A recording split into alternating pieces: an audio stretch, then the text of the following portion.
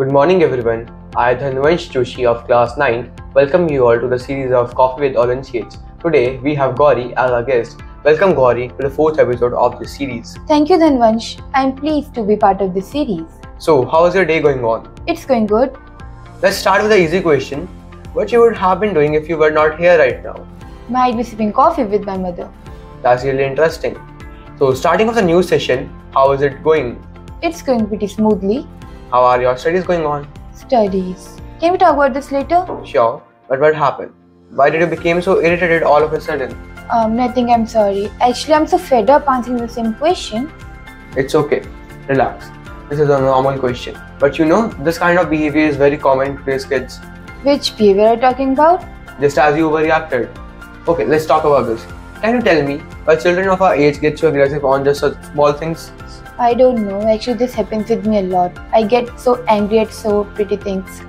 This happens because children of our age are spending time online, playing games with their friends, and chatting with their friends online, rather than going outside and play with them or have conversations face to face.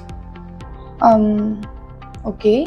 Can you tell me why this happens among teenagers, especially?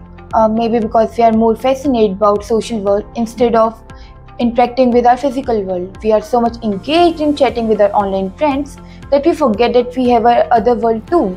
Maybe this is the reason why we are losing our patience or becoming aggressive. Absolutely. Moreover, you know, we are not spending time with our parents. Uh, we are not sitting with them. We are not obeying to them. Due to this, a lot of differences has come. You know, children, uh, children nowadays prefer to stay at home and play games rather than going outside. Hmm. Social media have really negative impact on our life.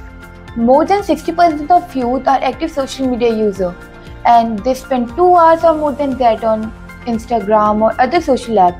If we pay this much attention to anything, have an everlasting impact on our life, whether we notice it or not.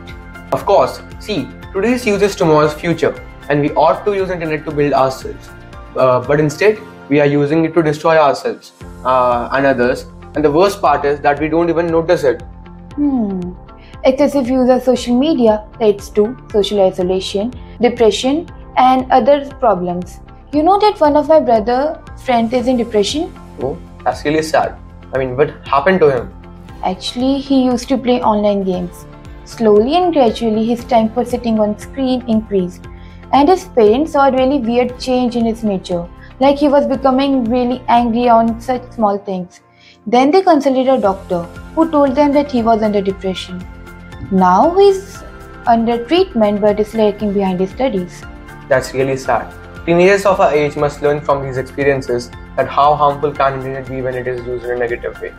I have seen many cases in which students between age 15 to 24 play online games in excess and they start suffering from depression. Hmm, exactly.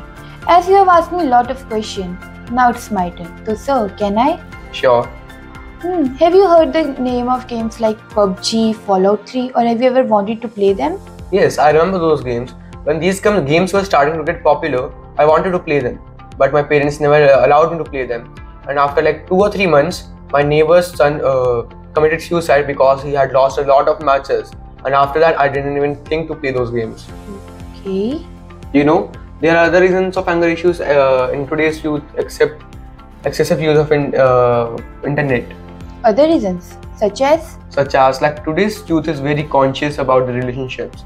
They come in relation with someone, it gets serious, which distracts their mind from studies. And if they lose that person, they start suffering from depression. Actually, the sign of depression are aggression and anger issue. If a person is under stress, then he or she may become aggressive, which may lead to depression. Absolutely. Just tell me how to overcome from this. It's really easy to be at peace and be patient. When you wake up in the morning, you should do some exercise, yoga, or meditation. After that, you need to be positive all day and don't let any negative thought come in your mind.